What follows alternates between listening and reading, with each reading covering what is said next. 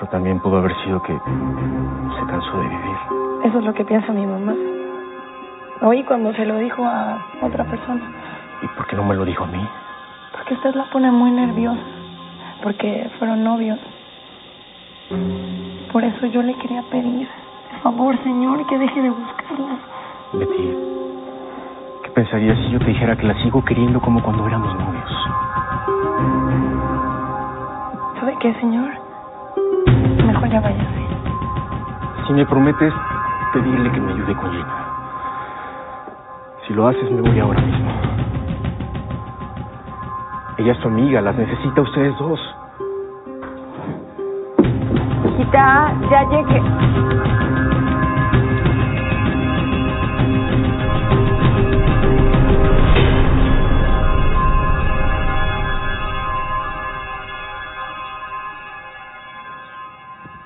Paulina, ¿no sería mejor que dejaras todo esto de una vez allá en tu recámara? Sí, ahorita lo subimos todo. Es que estamos descargando la camioneta porque hay que devolvérsela al papá de Ismael que la necesita para trabajar. ¿Les ayudo? ¿Les No, no, no, no, está bien, está bien. Estamos bien, Pau, estamos bien. Cuidado con las paredes, están recién No pintadas. Ese vitral también. Y si le hacen el favor completo a Paulina, ¿por qué no suben todo de una vez? Mira. Ahorita no lo subimos, preocupes. tía. Cuidado. Tía, eh, te quiero devolver esto. Estaba en mi casa. Es tuyo.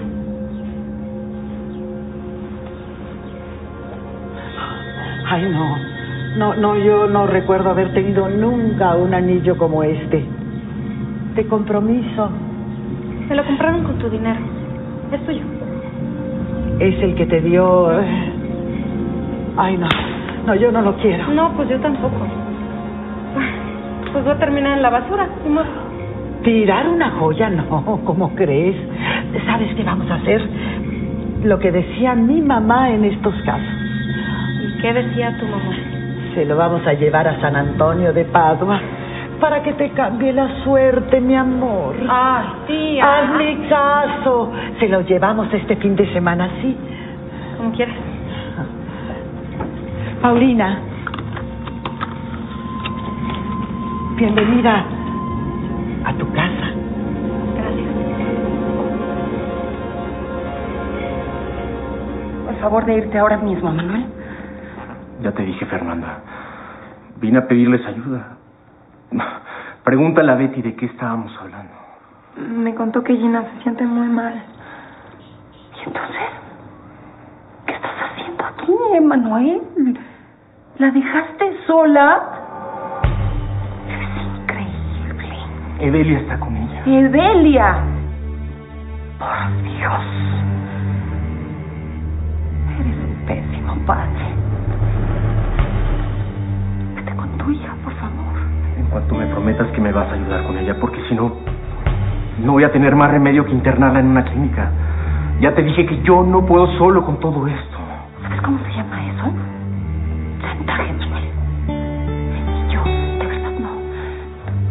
Yo no tolero eso. Vete, por favor. Vete de aquí. Si insistes en venir a mi casa a hablar con mi hija otra vez, voy a llamar a la policía. Por favor, mamá. Hijita, por Dios, yo sé lo que estoy haciendo, Emanuel. Gracias por cumplir también la promesa que le hiciste a Sonia.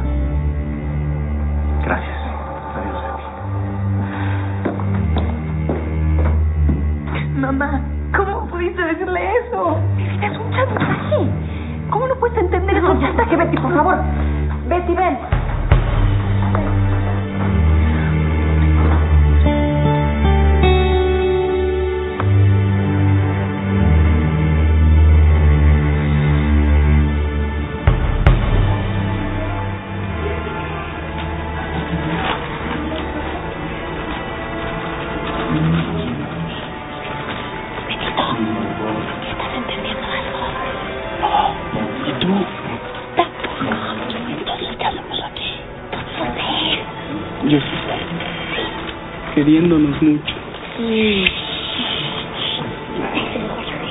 Ay, que me tienen envidia envidiosos. Cállate, payaso.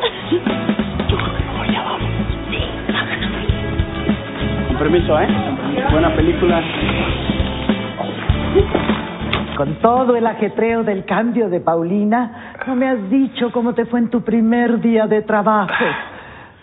Pues mira, no es el tipo de trabajo que yo hubiera querido, pero pues después de ser conserje en un hotel de quinta, ya mi edad, ya todos gananse. No, ya no digas eso. ¿Qué va a decir la gente si te oye? Óyeme, no es ninguna vergüenza el trabajo honrado. Vergonzosa la razón que me llevó ahí. Mm. Pero bueno, ya me volví a encontrar a mi hija y estoy muy contento. Bueno, Ismael ya se va. Lo voy a acompañar afuera. Ismael, muchas gracias por todo y por favor salúdame a tu familia, ¿sí? Con mucho gusto, Mariano. Señorita, con permiso. Es propio.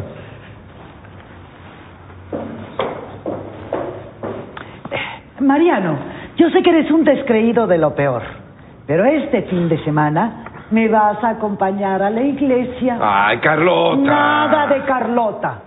Vamos a ir los tres a dejarle algo a San Antonio de Padua, a pedirle que ayude a tu hija. Está bien, está bien, Carlota. Mi general Carlota, como usted diga. Mariano, gracias por hacerme sentir otra vez en familia. Gracias. Carlota, tú fuiste la que logró eso para mí.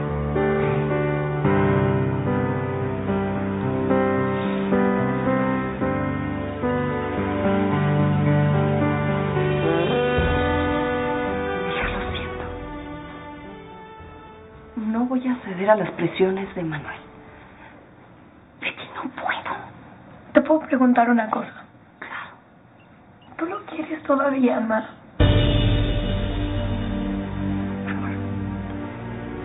Es que no se trata de eso, hija.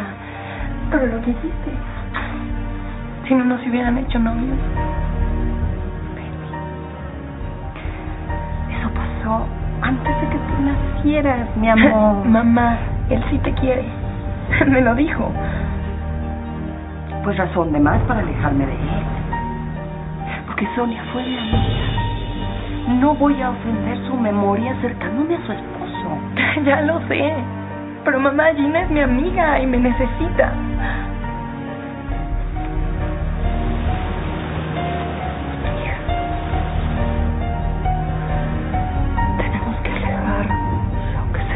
Rompa el corazón, mi amor.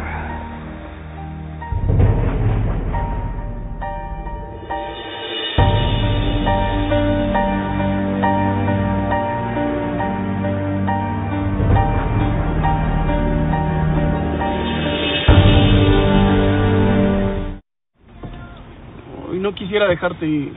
Ay, ni yo quisiera irme, pero ya de por sí voy a tener que justificarles a mis papás por qué llegué hasta ahorita. Conste, ya quedamos. Hoy mismo vas a hablar con ellos. Y lo voy a hacer. Hoy piensa mucho, mucho en mí, muy fuerte para que todo salga bien. Lo más fuerte que pueda, mi amor, te lo prometo. Bueno, pues ahora sí ya me despido. Ey, ey, señorita. Este, ¿no se le olvida algo? Usted ya tiene novio, ¿eh? Sí, es cierto. Matilde, estoy enamorado de ti. Ay, yo también. Estoy seguro que cada día que pase voy a estar más enamorado todavía. Ay, nunca me imaginé que iba a sentir tan bonito cuando me dijeras Sí, Pues vete acostumbrando porque te lo voy a decir muchas veces.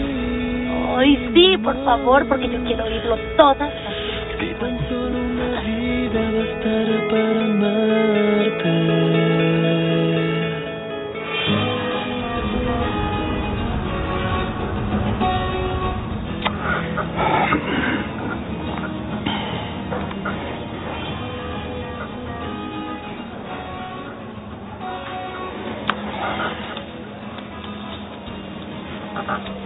Hijo, ¿cómo estás? Me preocupa mucho que solo a esta hora te encuentro en el departamento y tu celular jamás lo contesta. Ah, pues es que ando en diferentes ondas, jefe. Bájale, todo controlado, papá. ¿Cuáles ondas, Ariel? Con Vanessa no ha sido y tú y yo teníamos un acuerdo. Che, mira, checa el dato, papá. Hoy estuve con Emiliano y Clara y quedamos de vernos mañana en casa de ellos. No me estás mintiendo, me estás diciendo la verdad. Bájate, papá. Claro. Si quieres salir de dudas, habla mañana para allá y verás que voy a estar. Más te vale. O sea, ¿por qué la desconfianza, papá? Yo sé que de vez en cuando hago alguna tontería, pero nunca te la niego. A ver, ¿Y si en lugar de eso dejaras de hacerlas? ¿Eh? Bien, por Dios, ya tienes 20 años. Me estoy portando bien, papá. Mira, mañana voy a tener que aguantar una chavita, amiga de ellos que van a invitar. Betty, la hija de una de las chavas que trabaja con Vanessa. ¿Te suena, papá? ¿Vanessa? Ah, Betty, claro que sí, la hija de Fernanda. La conozco muy bien, no sé por qué dices que vas a aguantarla. Es muy agradable. Sí, pero es que gravita en otra frecuencia, papá. Bien, pues te portas como se debe, por favor. Ya ves si vas cambiando de amistades las que tienes, no me gustan, y lo sabes. Rómulo no es mala onda, papá. A- A veces se pasa, pero es un cuate, es brother, es efectivo, papá. Sí, sí, sí, sí, tan efectivo que te dejó tirado en un puesto de socorro en Valle Bravo. Es que me alucino barato por cómo me puse, pero ya, fumamos la pipa de la paz, papá. Todo en orden. Ariel, por favor, hazme caso y cuídate. Ok, ok, ok, ok. Y me llamas para decirme cómo te fue en casa de Vanessa. Te quiero, hijo.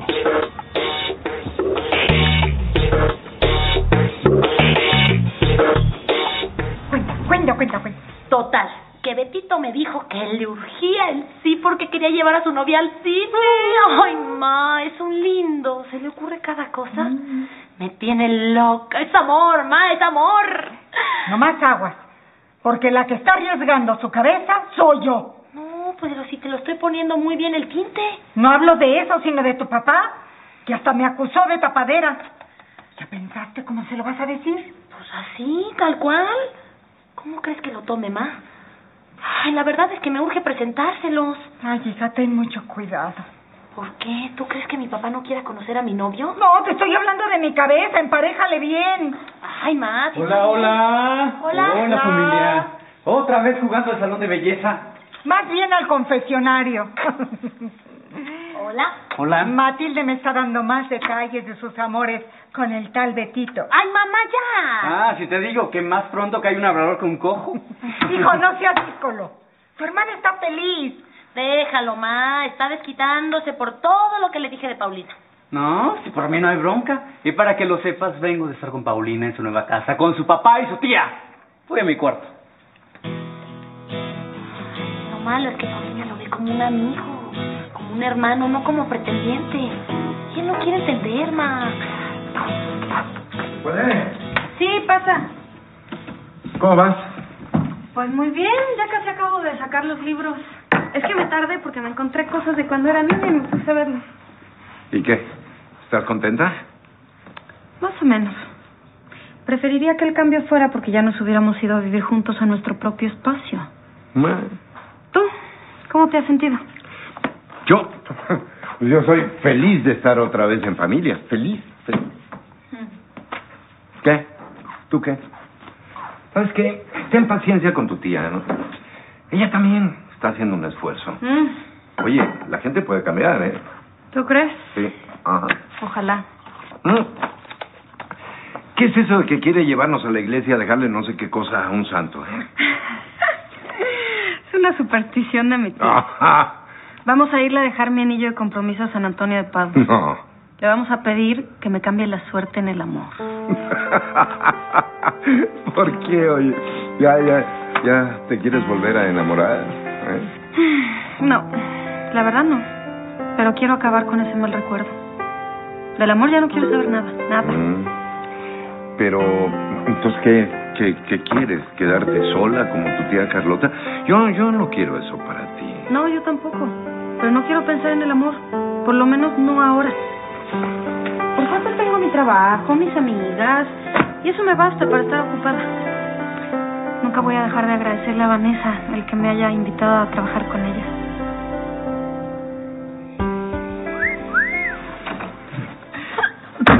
¿Te interrumpo tantito más? Oye, me encontré a Ariel en el club y viene mañana a la casa a pasarse un rato con nosotros saliendo de la escuela. Ay, qué padre. Me voy a escapar al mediodía para comer juntos. ¿Ya le avisaste, Clara? Sí, estábamos los tres cuando se armó el plan. ¿Y cómo lo tomó? Ya ves que ya no tolera a Martín. Bueno, pero Ariel es harina de otro costal. Ya ves que dijo que le queda bien. Se portó buenísima onda. ¿De veras? Pues qué bueno, porque el otro día se molestó mucho conmigo porque rechacé una propuesta que me hizo tu papá. No supe más cuál. Me ofreció editar una revista para apoyar mi programa. ¿Y qué pasó? Pues que ya lo conozco. Y al rato va a querer decidir por mí. Y ya no quiero volver a lo mismo. Pero bueno, eso es lo de menos. El problema es que Clara piensa que me negué porque soy muy egoísta. Ay, ¿qué onda? Voy a hablar con ella para que se aliviane. No, déjala. Se le va a pasar. Al rato lo va a entender, a ver. Ojalá, ma. Ojalá. Te digo que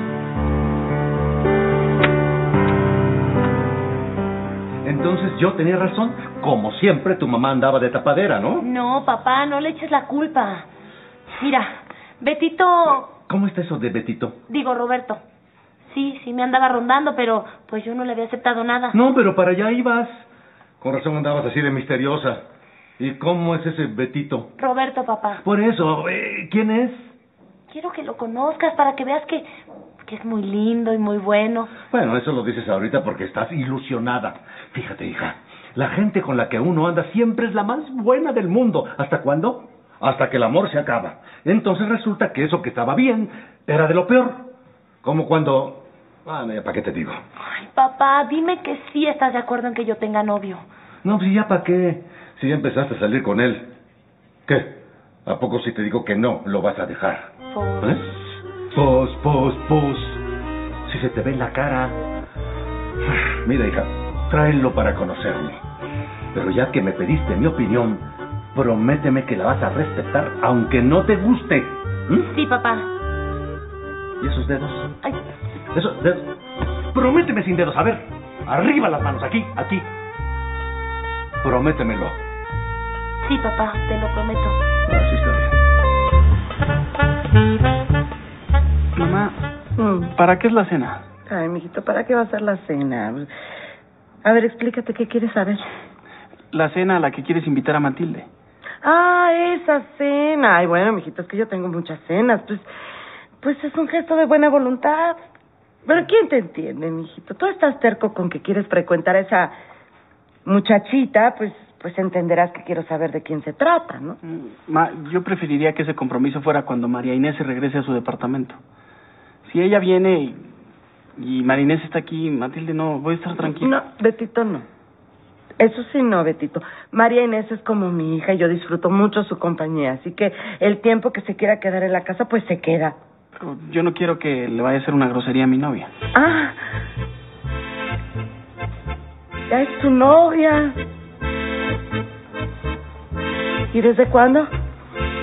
Porque tú solamente me habías dicho que te gustaba. Nada más. Hoy se lo pedí y aceptó. Ah, pues con mayor razón tienes que invitarla a la casa.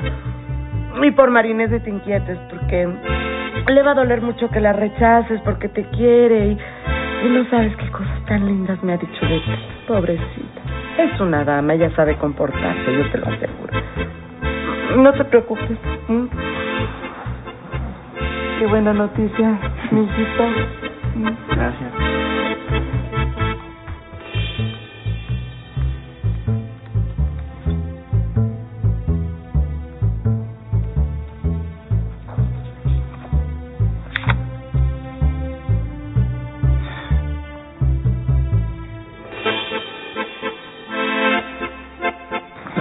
Román, voy a ser totalmente franco.